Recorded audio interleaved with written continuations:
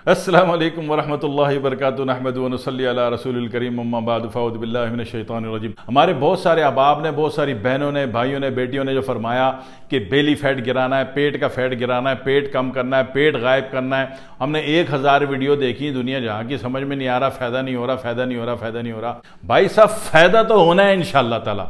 ठीक है? और अगर मेरी इस वीडियो पर अमल कर लिया इन मैं समझता हूँ दस दिन बाद पूरी दुनिया में कोई बेली फैट वाला नहीं होगा। पक्की बात है। झूठ नहीं बोलता मैं, ठीक है? मेरा अल्लाह देख रहा है, मैंने कौम का भला करना है, बेकार में पैसे नहीं टुपाने और कौम का अच्छा करना है। लिहाजा जो बोलता हूँ, एक तजुर्बे के बाद बोलता हूँ, सच बोलता हूँ, ठीक है?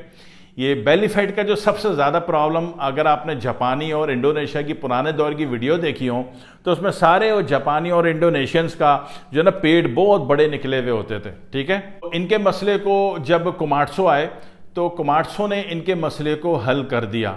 और आज इन आज की तारीख में आप पूरे जापान में चले जाएँ और इंडोनेशिया के जो इंटरनेशनल सिटीज़ हैं, ठीक है ना, जकार्ता, माली, ठीक है ना, और समाट्रा और जावा इंटरनेशनल तो ये चारों है ना, बाकी तो एंड पे वानियातो और वो तो ऑस्ट्रेलिया को लगता है, इस तीमूर वगैरह। इधर के शुरू के जो चार इलाके यहाँ पे देख लें कि कोई एक बंदा भी पेट वाला नहीं मिलेगा।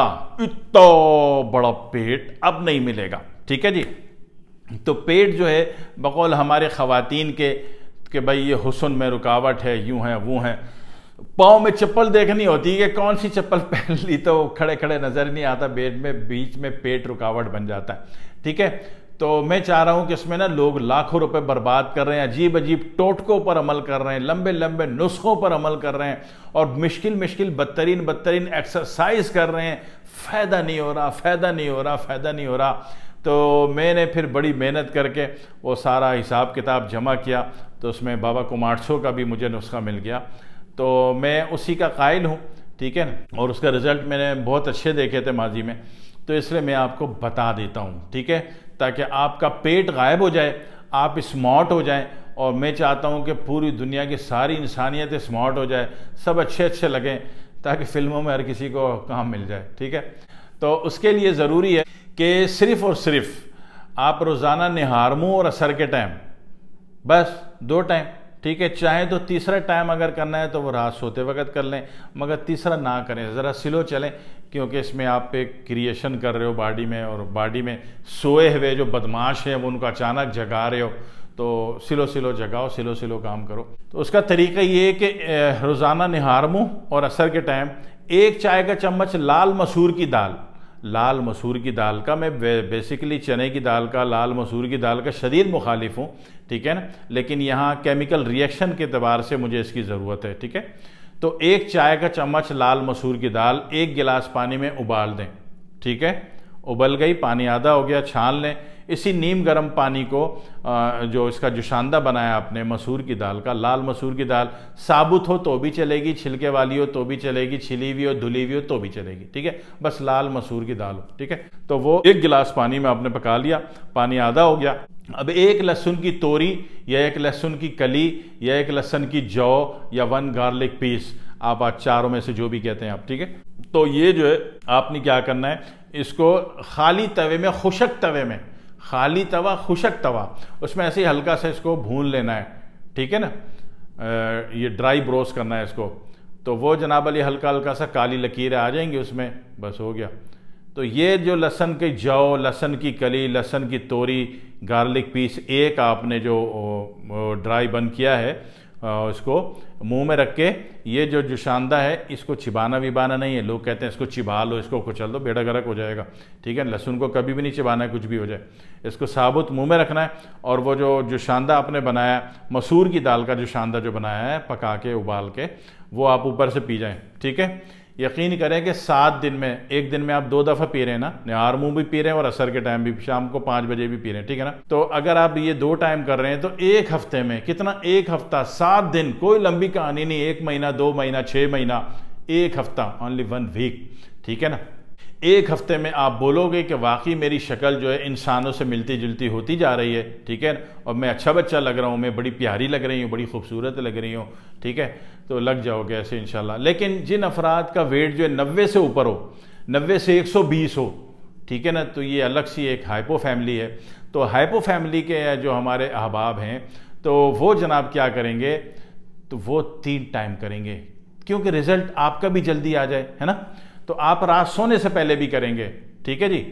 ये हो गया क्लियर और ये सिर्फ़ वो खातून नहीं करेंगी जिनको मैंसेज बहुत ज़्यादा आते हैं, कसरत से आते हैं, हैज़ बहुत बड़ी मकदार में आता है, वो नहीं करेंगी।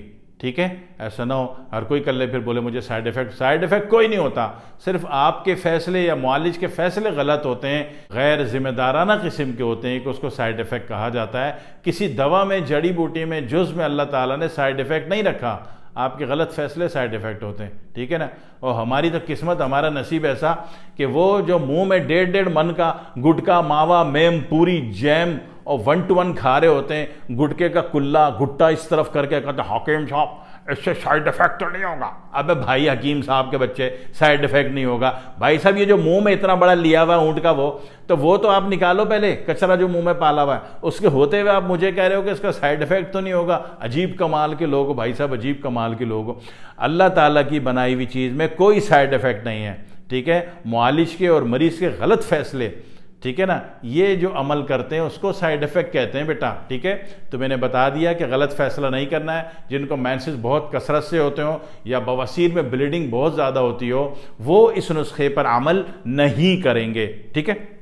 बाकी तमाम अब आप ठीक है नॉन हैपो फैमिली और हैपो फैमिली नॉन हैपो फैमिली जो है, वो जनाब वाली जिनका वेट 90 किलो तक है तो वो दो टाइम करेंगे और जो हाइपो फैमिली है, वो जनाब वाली वो तीन टाइम करेंगे, ठीक है? यकीन कीजिए, अल्लाह आपको मायूस नहीं करेगा, ठीक है? अल्लाह आपका दिल नहीं टूटने देगा अल्लाह आपको खुशियाँ देगा और आप इतने स्मार्ट हो जाओगे, इतने स्मार्ट हो जाओगे, इतने स्मार्ट हो जाओगे कि पूरी ज़िंदगी दुआएँ दोगे क्या ऐसा भी नुस्खा होता है, ठीक है? लेकिन हमेशा अक्सर वीडियोस में हमने हमेशा वजूहत पहले बताई हैं, इसमें वजूहत बाद में बता रहा हूँ कि वजूहत ये हैं कि आपने जो है चावल बंद कर देना है। चावल नहीं खाना, ठीक है? चीनी बंद कर देनी है। चीनी भी नहीं खानी, ठीक है ना? एक होते थे पुराने ज़माने में कुदरती चावल, अल्लाह के बनाए हुए। उसमें कोई सिंथेटिक लेवल का केमिकल क्रैश नहीं था तो उससे नुकसान कोई नहीं था। दिन भर चावल खाए जाओ, रात भर चावल खाए जाओ। चावल की खिचड़ी भी खा लो, चावल की बिरयानी भी खा लो, चावल का पुलाव भी खा लो, चावल का सादा भी खा लो, चावल की खीर भी खा लो, चावल की कस्टर्ड भी खा लो, चावल की आइसक्रीम भी खा लो। ठीक है ना? मीठे चावल भी खा लो, नमकीन चावल भी खा लो, और स्वयं के चावल भी खा लो, चहलम के भी चावल खा लो, बरसी के भी चावल खा लो, शादी के भी खा लो, वलीमे के भी चावल खा लो, वो सब अल्लाह के बनाए हुए चावल थे, उसका नुकसान कोई नहीं था। लेकिन अब जो है ना, चावल सिंथेटिक है, ठीक है? एक तो इसका उगाना, उसमें सिंथेटिक अमल बहुत ज़्यादा बढ़ गया है, अमल दखल। दूसरा, इसकी सफ़ाई, इसकी पॉलिश, ठीक है ना? तो ये चीज़ जो है ना, इसकी बफिंग इन चीज़ों में केमिकलाइजेशन बहुत ज़्यादा बढ़ गई। लिहाजा अगर आपने मोटापे से निकलना है तो ये सिंथेटिक चावल बंद। सिंथेटिक चीनी चीनी अल्लाह की बनाई हुई तो नहीं है, सारा सिंथेटिक है, सारा केमिकल तेजाब अल्कलाइन ब्लीच इस्तेमाल कर रहे हो, तब कहीं जाके चीनी सफ़ेद होती है। तो अब वो चीनी भी सिंथेटिक है तो लिहाजा चीनी भी बंद। ठंडा पानी ठंडा पानी भी बंद। सिर्फ़ सिंथेटिक चीज़ों को मट्टी पा दें, इसे जान छुड़ा लें। अल्लाह की चीज़ें आपको फ़ायदा देने को तैयार हैं, सस्ते में तैयार हैं, मुफ़्त में तैयार हैं। ठीक है ना? ईमानदार आपने होना है। ठीक है? ये नुस्खा ज़रूर कीजिए। दुनिया जहाँ में हर वो शख्स जिसका आपका भला करना चाहते हैं, उसको ज़रूर बताइएगा। ठीक है? कि भाई, एक लहसन की जौ, लहसन की कली, लहसन के तोरी गार्लिक पीस जो है ड्राई पैन में हल्का सा फ्राई करके इसको मुँह में रख के ये मसूर की दाल का जुशांदा पी जाओ, मसूर की दाल का उबला पानी पी जाओ। भाई साहब, सिर्फ़ सात दिन कर लो, अल्लाह इतमान दे दे कि रिज़ल्ट वाकई है, नुस्खा सच्चा है, नुस्खा हकीकी है तो मर्ज़ी इसको एक महीने ले जाओ, मर्ज़ी दस दिन ले जाओ, मर्ज़ी दो महीने ले जाओ। ठीक है? और जब मज़ा आ जाए, कलेजा खुश हो जाए, स्मार्ट तरीन हो जाओ, फिर जल्दी जल्दी शादियाँ कर लेना मेरे को दुआओं में याद रखना, ठीक है? वसलम वरहमल वर्का